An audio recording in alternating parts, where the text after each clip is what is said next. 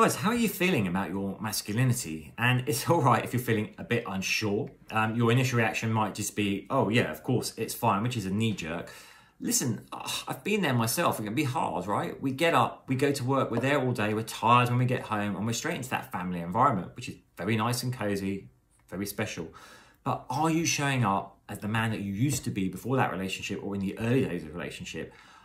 Are you putting down healthy boundaries with your family, with your partner? Are you spending time with other men?